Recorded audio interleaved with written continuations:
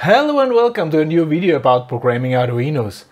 This time we want to change our program a little bit. The hardware setup is still the same, okay? So the hardware setup is still, you know, one button, one light. This is our hardware setup. And what we want to do, we want to press the button, the light shall be turned on, we want to release the button, the light shall stay on, and after a certain amount of time, the light should turn off again. Okay. So this would be this would be our goal, some sort of a of a triggered stairway light. Okay. So if you're living if you're living in an uh, building with a lot of flats, something like this, you have on your stairway, you have a push button, puck, light goes on, you can go to wherever you like to, to your flat or to your car or wherever, or to the washing machine, I don't know. Yeah? And after two minutes, three minutes, the light will automatically turn off. Okay? This would be the goal. I'm going to use a space, our last program we used when when we did this button. Yeah. So I will save this under new name, save as. Uh, this I will call 7 and I will call it st stairway light. Stairway light. Back. Okay. So we do have again an LED which is defined as output. We have a button pin which we will define as input pull up of course. Uh, of course, uh, because otherwise it's not working. We have realized. Uh, then here I have to select this not, yeah, because it's a pull up now, button state, okay? And this right now does exactly what we have coded quite some time ago. Press the button, turn on, release the button, turn off. Yeah?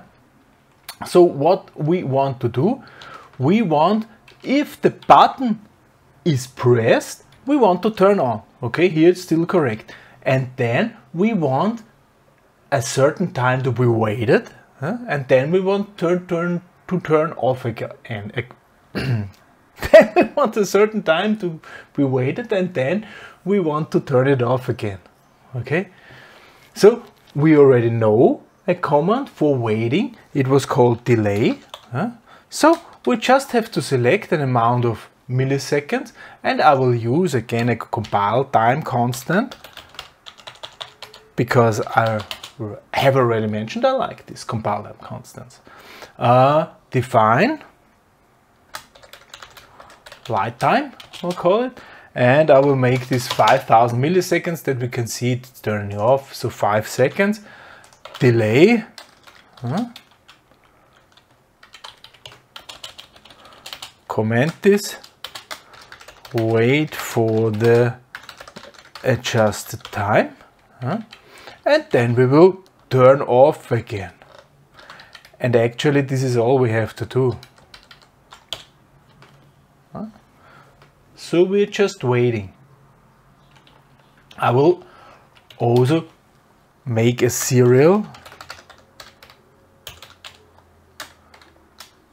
output to show us a little bit what is happening. Yeah?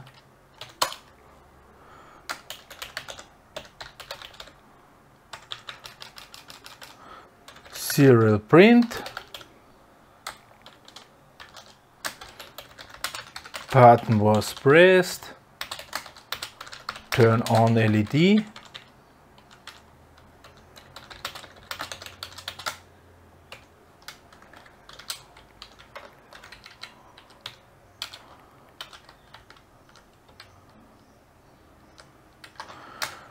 wait for and here we write light time.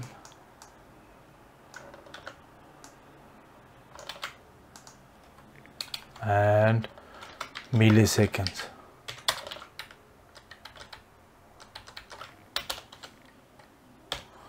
And the last thing I'm going to output is done. Back. And there I make a print line. Let's see if this is working. Yeah? Let's make an upload.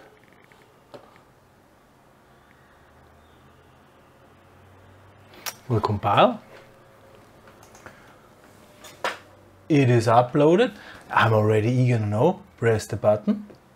Ah, it's lighting and after five seconds it shall turn off. Turned off. Yeah.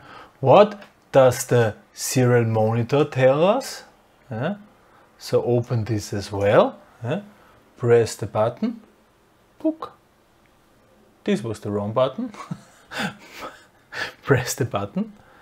Wait for 5000 milliseconds and done. Great. It's working. Okay. If this would be the only task of our program, it would be sufficient. Okay.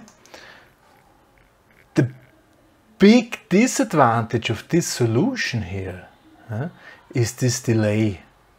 Uh, during delay, this thing does nothing. Uh, it's like a brick. And I, you know, it would it is capable of doing more than just waiting. Yeah. So we have to find a solution for that. That we're pressing the button.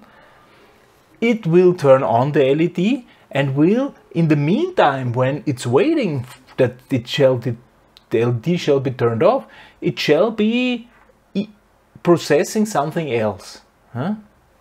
How this is done hmm, will then be next video. Huh?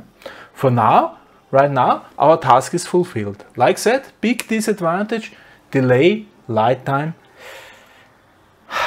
It's not working. Okay?